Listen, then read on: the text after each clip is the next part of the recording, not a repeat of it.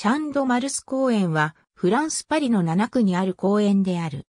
24.3ヘクタールの面積を有するパリ有数の緑地であり、公園の北西側にはエッフェル塔、南東側にはエコールミリテールが隣接している。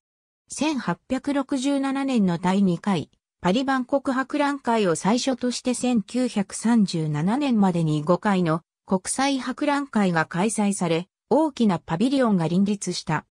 1991年には、この公園を含むパリのセーヌ川周辺は、パリのセーヌ川市として世界遺産に登録された。公園の名称は、古代のローマ市にあったカンプスマルティウスにちなむ。シャンドマルスもカンプスマルティウスも、マルスのののいである。かつて、この場所が連兵場、越兵場として利用されていたことによる。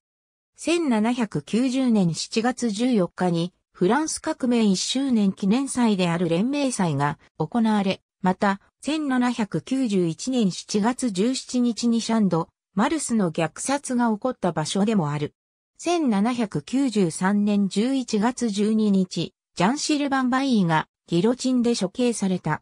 1794年6月8日には、チュイルリー宮殿からこの場所にかけて最高存在の祭典が催された。ありがとうございます。